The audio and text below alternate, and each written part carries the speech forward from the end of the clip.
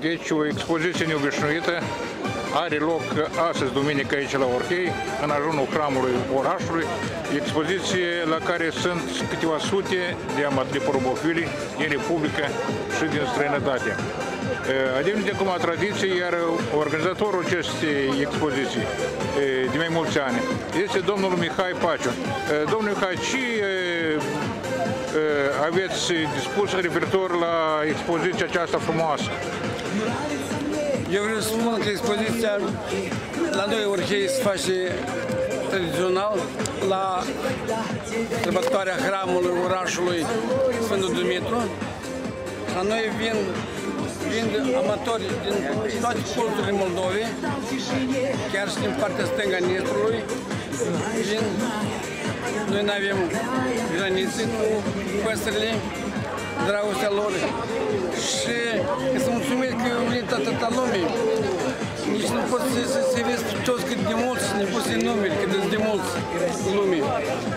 Noi suntem bucuroși că la Orhei, la Orhei, orașul care toată alstimează toți, toate raioanele, chiar, după, chiar din Europa, stimează orașul Orhei.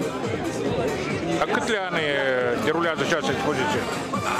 Asta e a 800 ediție, a 800 ani de când noi facem asta e întâlnirea cu toți prietenii din toate, din toate raioanele și suntem bucuroși că ne stimează să îi iubim păsările. Avem tare mulți în vârstă, avem și tineri. Mai pe scurt, e, e ceva, e o dragoste care nu poți să nu o iubești. Câți participanți azi, așa, cu aproximație?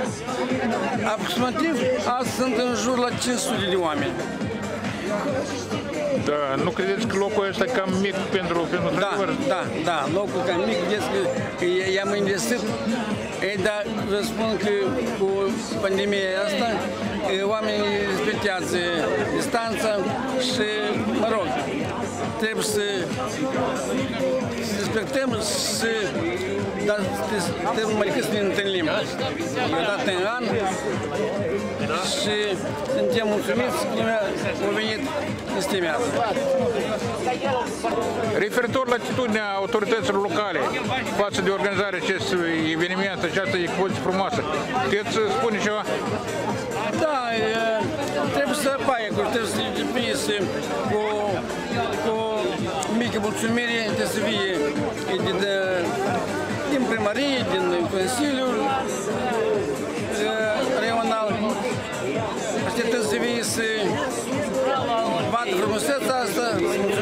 lumea asta care a venit.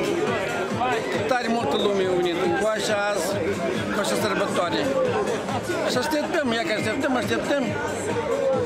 Dar văd că încă o leacă, poate ceva să rețin pe undeva, dar nu mă că o să vină. Au promis o să vină. Bine, succes! Ei pe noi ne susțin. Dacă am rugat frumos ne dă locul. Ne-a dat un loc frumos, e cam strâmb, dar ce să faci? Facem înainte la Orheilând, dar fiindcă acum cu pandemia asta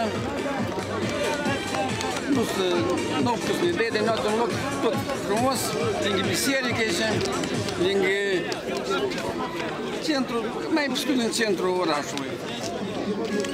Mulțumesc!